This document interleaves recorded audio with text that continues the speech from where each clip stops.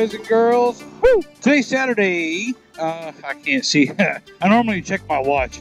It's December something. I heard that thing. On my way down to, I'm going to call it the hippie market. Let's just call it what it is. Kirby Rats and Wrath, you guys know, hosts her markets from time to time uh, out on the patio of Dirty Shame. But this time, she has taken her wares to a completely different location.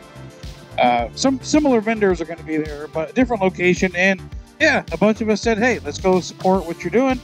And uh, so heading up there. Beautiful freaking day out. It's like 79 degrees, partly cloudy with very small chance of rain.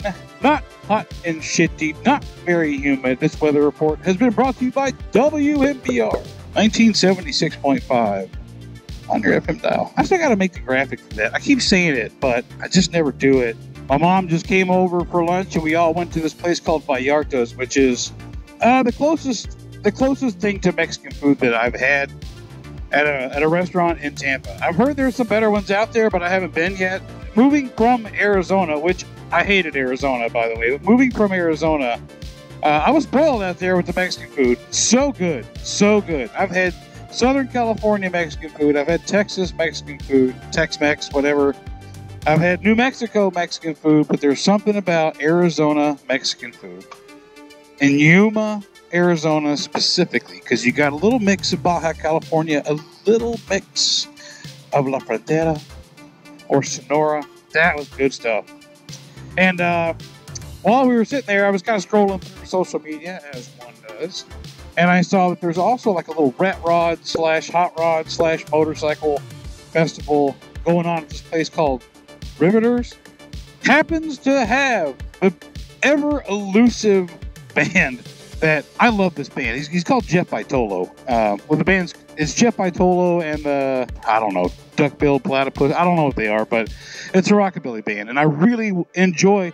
It. They do covers, so they got some originals, but they do mostly covers. And uh, oh, always miss them. They play all over Florida, but I always miss them. And today they're playing at this place, Riveters. I really hope we can get over there because I missed them last week because Kyle threw a belt. We stuck around to help him out. Uh, last time they were close by, I think I was out of town. I don't know, always something. So hopefully we can get over there, see some hot rods, see some motorcycles, listen to some good rockabilly music, which I'm a big fan of. So I am impressed the the motorcycle has. Uh, like I always say, man, my Triumph was a hot rod. That thing was shit and get. My last 103, my Road Glide, would not shit and get. That was my biggest complaint about the Road Glide. This one, on the other hand, does. And I'm not very well versed in the stage one, stage two, stage three nomenclature. And admittedly, I'm also not really a fan of, oh, I got a stage two kit. Just say what you got, man. I know this has a, a, tuner. It's got a Screaming Eagle tuner, which I know there are mixed thoughts on, but it came with it. You know, it's got the Screaming Eagle air intake. It's got Vance and Hines tapered slash cut uh, slip-ons. I keep meaning to take the baffles out of, but I haven't done it yet. Um, I don't know if they put cams in, which I, I think I think is stage two, but I know it's got a lot more balls than my 103 road.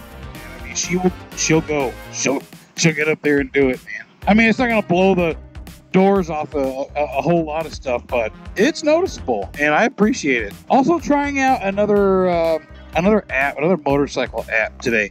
I've been using, I, I, might even do a review of these. I've been using an app called Relive most of the year, um, and I, I, post my rides. It'll do like a 3D map, uh, GPS track. It'll tell your highest speed. It'll you know you can upload pictures to it and uh, it serves the purpose but if you make the video through their app you kind of have to use their music inside of it and i'm just not really a fan of their selection so last week i tried rever which is advertised all over the place.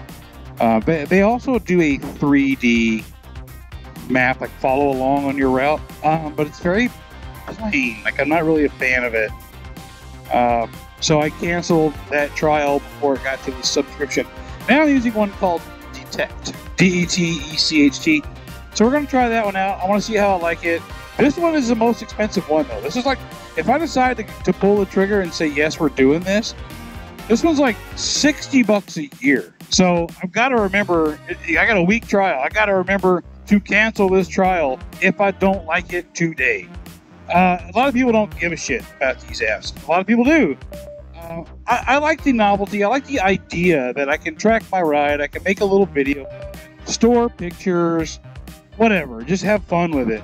Uh, this one supposedly has adds some social media aspect to it that I'm, I'm not familiar with. But uh, a bunch of the Tampa crew is already supposed to be up here, and I'm going to meet them if they're still there. Hopefully they are. And uh, yeah, we'll see you down the road. It's a way different setting than when we have them at the Dirty Shanty. I say we, like I'm involved. I'm not involved at all. This is much better. It's more spread out. There's more shade. And anytime this guy's around, there's constant shade being thrown. All my motorcycle friends are here on their various Harley Davidsons. It's another one of those Harley Davidson days. Then over there you got more Harley Davidsons, and then Jenna breaking up the vibe with her Yamaha. Is that an MT? YT? FT? 07? Nine. It's 900. Well, then I misquoted that last week because I said seven something. Talking in Completely wrong. Power. I don't More power. like Mopar. Like you're like if Dodge made a motorcycle, it would be the Yamaha because it's Mopar. No. What do we have here? There we go. It's a it's now a tradition. How many birds can I get flipped? Oh, she had you had Bow, bow, bow. you got different stuff this time. More stickers. Yeah, I have some more stickers. I have an Dolly Christmas card. I have my Freak on a Leash stickers, Hell yeah! um, which, if you're a Korn fan, I should get this tattooed, you can like right here. You can put it on. I don't know your wife or her bike or. Oh no, she won't let me. I won't put it on not on new bike. No stickers on it. Let's see what else we got. Some other homemade wares. Looks like some ceramics. Looks like some vintage clothes that we found. Maybe some prints. We had these in the 80s. He, he bought them. That's what I'm saying. As soon as you feel something, He bought them from McDonald's. Yeah, like if you back then they had like uh if not just for kids, but you like, every week they have a different promotion, so you could buy these from McDonald's. The McDonald's Garfield collection. They're like yeah, you'll like. Yes. Just like, like yes, my parents had those. So I think like this is a jelly jar. This is 1952, so this is 70 years old. Wow, you never know what you're gonna find when you come out. And I think a lot of the vintage finds are my favorite. I like the arts, the craft stuff, but the vintage finds are like, holy shit, blast from the past. All right, boys, let's do it. Well, I need to go that way, but I don't like this angle, so we're gonna go this way and figure it out. It's not about the destination; it's about the journey. To quote any cheesy line ever. Plus, I've never been down the street, so we can say now that we've been down this street. That was a fun time. I spent a total of uh, 15 bucks there on beers and uh, some swag from Kirby. I like supporting my friends, selling their wares. I'm still playing with camera angles on this uh, on this camera that's facing my face. Uh, I might want something more eye level, and uh, it keeps this clamp from hitting my dashboard like it happened yesterday. There were a bunch of us that showed up today to this, which was nice to see. Uh, but people just started splitting off. You know, Kyle went home. and he wants to meet up later. Alex left with his family. They went to get hibachi. Just everybody's kind of splitting up, and and even if they had ideas of linking back up in a little bit, uh, I think I I think I kind of get the allure of living back here now. I'm assuming that's part of the Hillsborough River. Could be totally wrong. Very pretty back here. One of the older neighborhoods in Tampa. Obviously, this is not a road you can like open her up on or anything, but lots of trees, pretty houses, older houses. It's actually uh pretty picturesque back here. Nebraska. Okay, now I get the idea.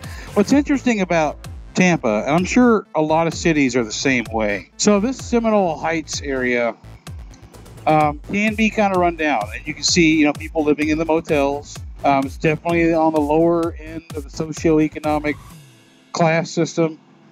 Not saying that's a bad thing, not saying it's a good thing. It just kind of is what it is. But then you break off, you know, into the back roads and you're into cozy looking neighborhoods. It's quite different than what you're going to find out here on Nebraska. Nebraska and Florida avenues in particular. Not the most desirable places to be in Tampa, I'll tell you that right now, especially between like where we were and uh, up by me. I don't want to ramble. I'm going to get on down the road. Whatever we do, me and the old lady or me and the friends, whatever, we'll see you then.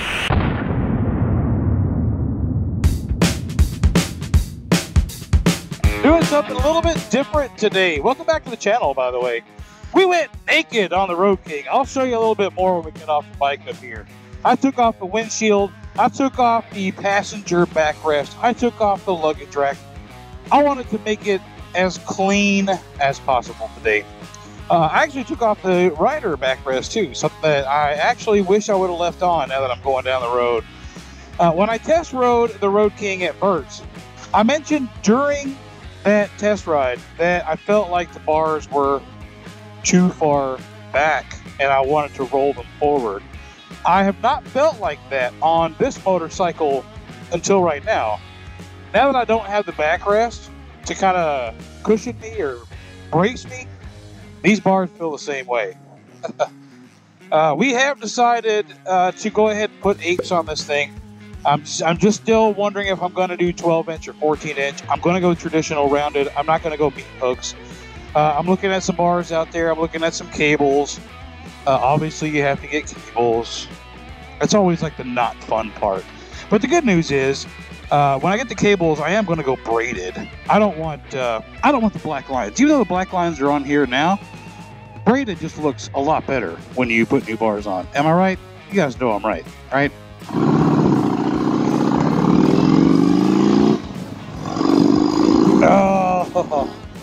Oh, you just feel like you're more one with the environment. You know what I mean? I mean, the bad thing is I have to put my face shield down, which I don't really like doing because these Shoei helmets, like I've mentioned several times, they get hot, buddy. I get so hot inside these helmets. But hey, that's what vents are for. But while I'm recording, I have to keep the bottom. Uh, there we go. The bottom vent closed. Otherwise, there's this constant whistling from the wind coming in that vent. So, what are we doing today? We are heading down to a spot called Tiger Temple Tattoo. Apparently, this is uh, one of uh, Shay and Josh's tattoo artists that they go to. Tattooist? It's tattooist? Tattoo artist? You tell me. What is it? Uh, anyways, the grand opening today is down on Gandy, which is one of the bridges that connects Tampa to St. Pete. They're having a grand opening event from 1 to 5. I really wish I was getting a tattoo today. It's been years since I had one. Not in the cards today, boys and girls. Okay, this wind is going to really fuck with me. I don't think I'm going to be able to use this GoPro while it's uh, uh, while it's naked up here. Yep, I think uh, trying to be a little bit more frugal.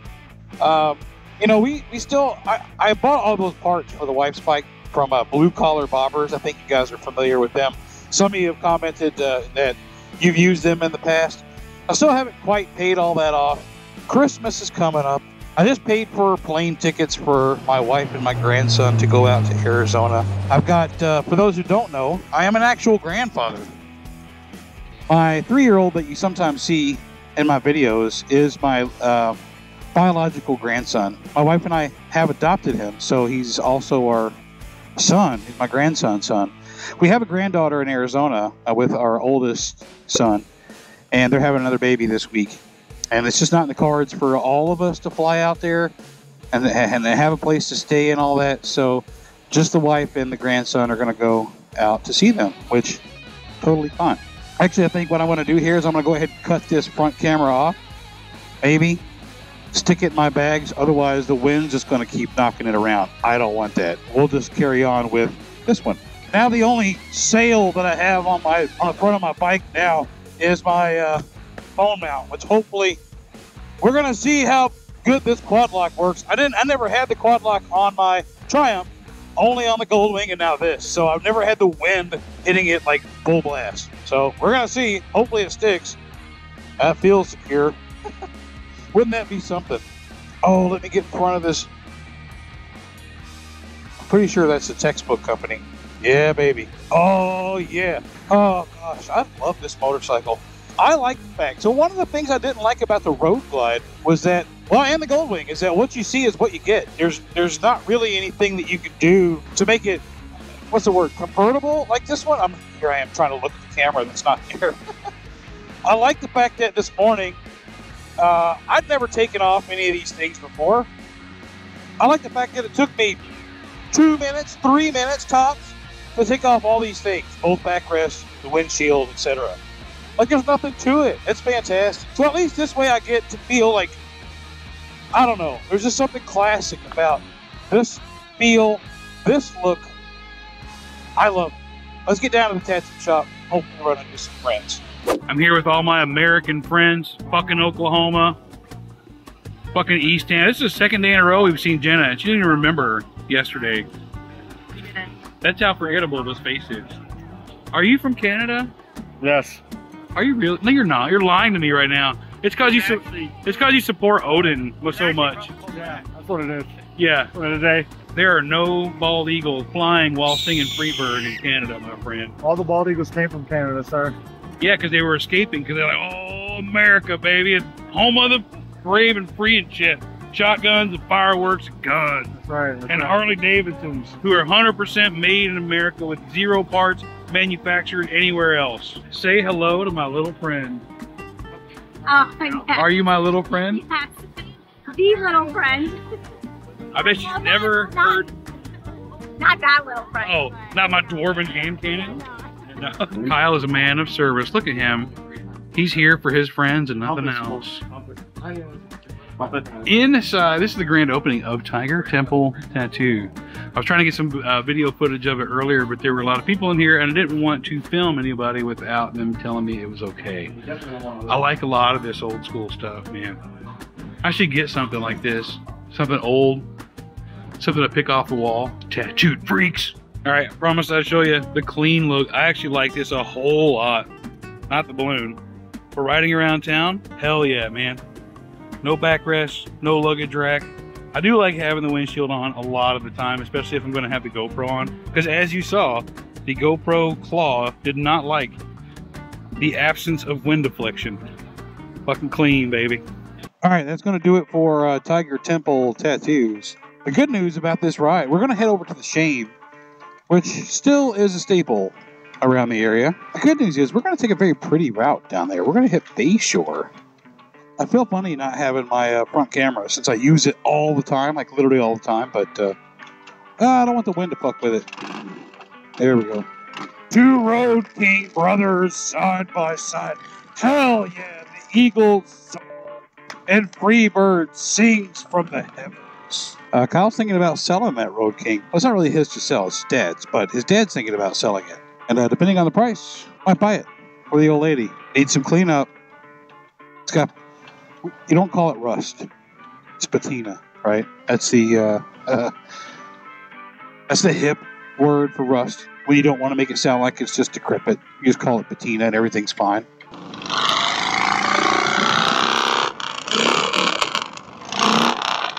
There's been a running issue with the transmission. It doesn't sound like he's gotten that fixed. Not a good selling point.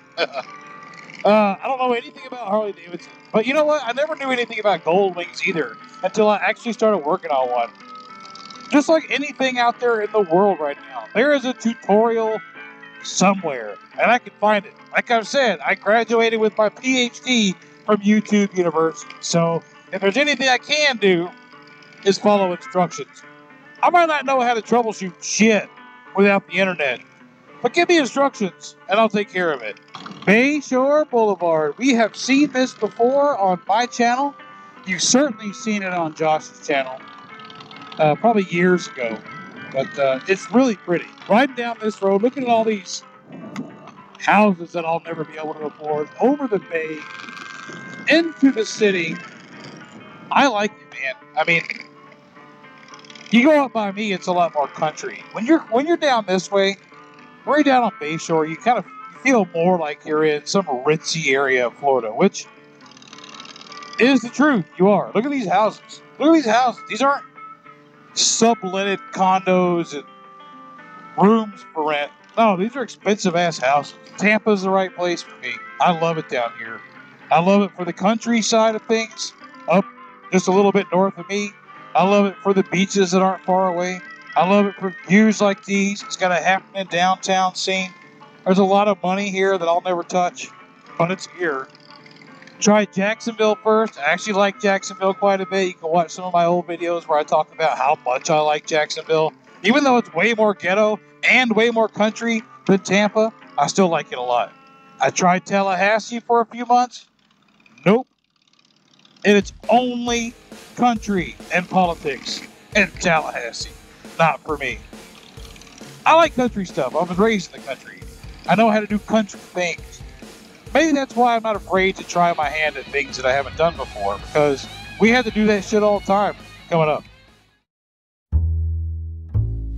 All right, y'all, that's going to wrap this one up. I appreciate you coming along with this one, as with all videos.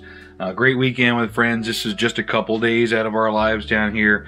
Uh, I always like making these kind of videos. I like going back and watching them myself because it just kind of reminds me of, hey, this is what we did this weekend. And uh, I think some of you guys can appreciate that. So, yeah, thanks for coming along. And until next time, we'll see you later.